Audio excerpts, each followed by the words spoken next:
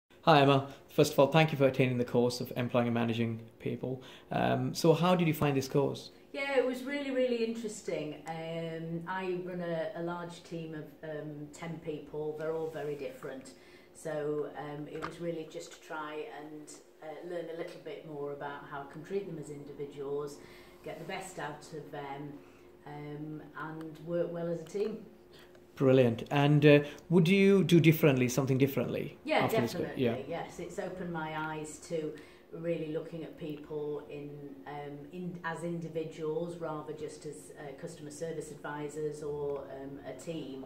Um, so yeah, I recognise now that everybody has different uh, motivators, different drivers. So yeah, that's definitely something I'll, I'll be thinking about when I go back to work.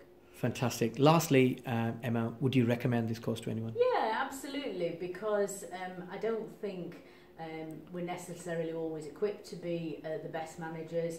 Um, if you've got some techniques, such as the ones that you've done in the course today, then they can only help you um, to work better, uh, better for your business, better for your team, and ultimately go to bed at night knowing that